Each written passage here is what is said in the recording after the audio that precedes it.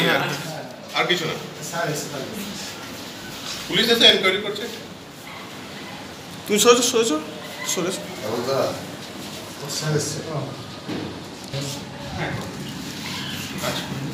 হ্যাঁ করব করব। দাঁড়া জাস্ট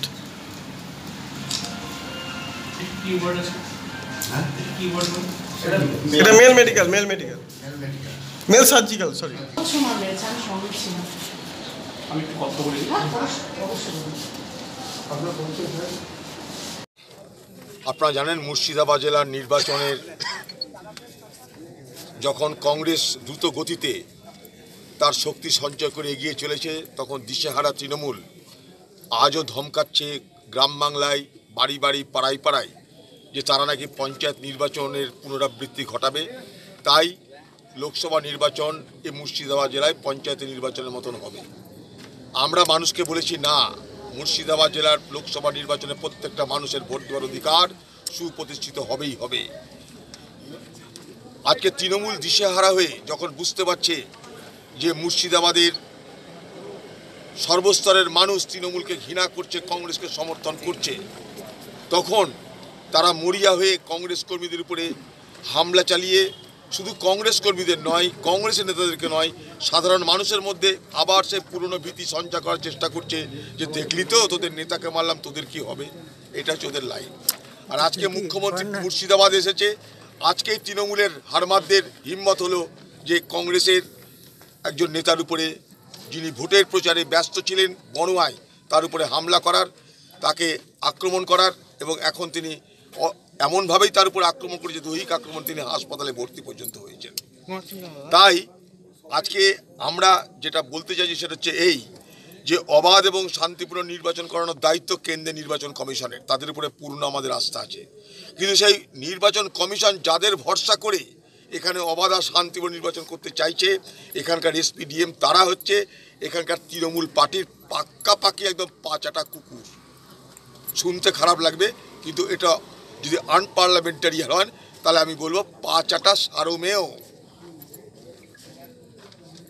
তাই আজকে হিম্মত হচ্ছে তৃণমূলের মস্তানদের গুন্ডাদের কংগ্রেসের নেতাদের উপরে হামলা করার, আক্রমণ করার।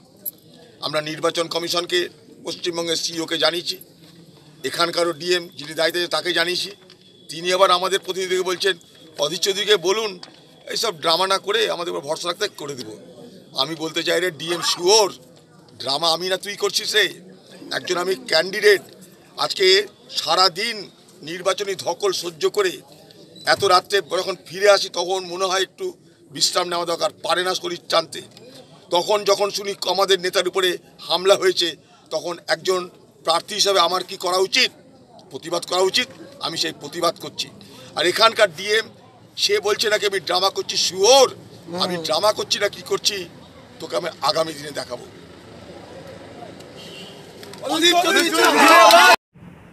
সে আমাদের এই প্রোগ্রামের শিডিউলগুলো জমা টমা দেয়।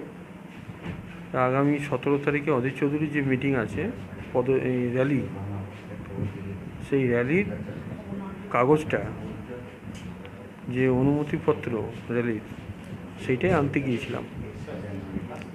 বাস্তবিক যে ছেলেটি যুব সভাপতি, তার নাম সব্যসাচী ভট্টাচার্য।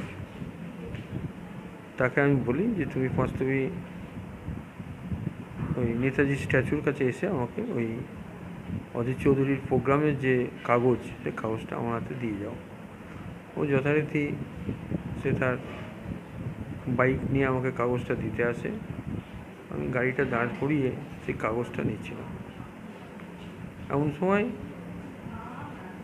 আট নজন আর্ম সাথে আমার কাছে আসে এবং আমাকে জিজ্ঞেস করে আমার নাম কি? দিয়ে অকথ্য গালিগালাজ দিয়ে দরজা খুলে আমাকে হেঁচড়ে নামিয়ে ফেলে, অকথ্যভাবে মারে। দু একজন রিভলভারের টিগারে হাত দিয়েছিল যে আগামী দিন এলে তোমাকে শেষ করে দেওয়া হবে। এবং অকথ্যভাবে আমাকে নানা রকমভাবে, নানা দিক থেকে আমাকে আঘাত করা হয়। আমার বুকে প্রচণ্ড ব্যথা, আমার পায়ে লেগেছে, কোমরে লেগেছে, এই ঘাড়ে লেগেছে, ঘাড় আমি ঘোরাতে পারছি না। আচ্ছা মানে এটা সম্পূর্ণ তৃণমূল ওখানে বুঝে গেছে যে তাদের আর মাটি নেই, মাটি সরে গেছে। যার ফলে তারা অধীর চৌধুরীর লোক যাতে বড়ার মাটিতে ক্যাম্পেনিং করতে না পারে, কর্মীদের কাছে যেতে না পারে, এটাই একটা কৌশল এবং এটা একটা সন্ত্রাসের বাতাবরণ তৈরি করে তারা কর্মীদের মধ্যে একটা মেসেজ দিতে চাইছে যে তাদেরও পঞ্চায়েতের মতো এরকম হাল তৈরি হবে। আমার নাম তাপস দাসগুপ্ত আমি বড় বিধানসভার অবজারভার প্রদেশ কংগ্রেস কমিটির সম্পাদক। প্রদেশ কংগ্রেস কমিটির সম্পাদক। ঘটনাটা হচ্ছে তাপস দাসগুপ্ত আর আমি মৌসুমী বেগম।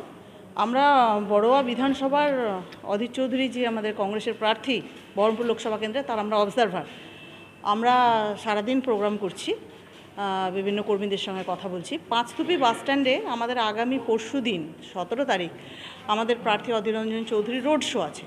সেইটা নিয়ে আমরা আমাদের যুব কংগ্রেসের যে সভাপতি, তার সঙ্গে আমরা আলোচনা করছিলাম।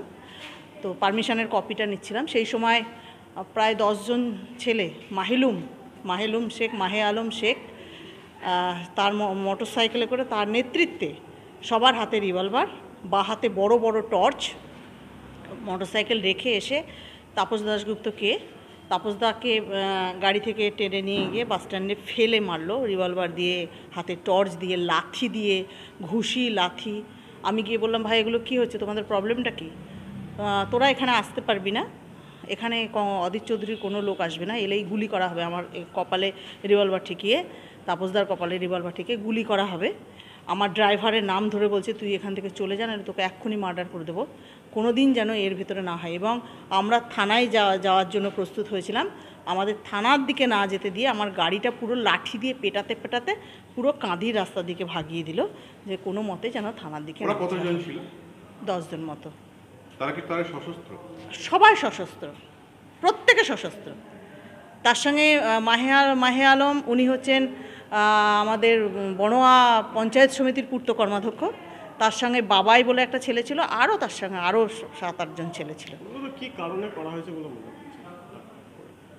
তৃণমূল পার্টির গুন্ডা বাহিনী তারা জানে ভোটে জিততে পারবে না এই এলাকার মানুষ তাদেরকে ভোট দেবে না।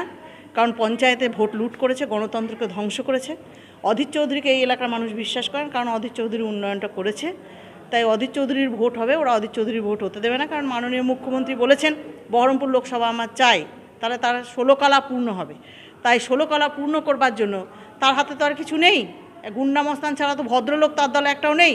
তার প্রমাণ তো সেই গুন্ডা মস্তান দিয়ে আমাদেরকে জব্দ করার চেষ্টা করছে আমরা যাতে প্রচারে যেতে না পারি আমরা যাতে সাধারণ মানুষের কাছে পৌঁছাতে না পারি। দশজন। হ্যাঁ আমাদের যিনি প্রার্থী অধীররঞ্জন চৌধুরী তিনি অলরেডি ডিএম অফিসের সামনে অনশনে বসে গেছেন ধর্নায় বসে গেছেন। আমাদের এখানে আমাদের তাপস দাশগুপ্ত অলরেডি ভর্তি হয়েছে আমরা এখানে ডিএসপি ডিএনটি সাহেবকেও জানিয়েছি। আমরা নির্বাচন কমিশনারকে চিঠি করেছি। আমাদের তরফ থেকে যা যা করার দরকার আমরা সব কিছু করি।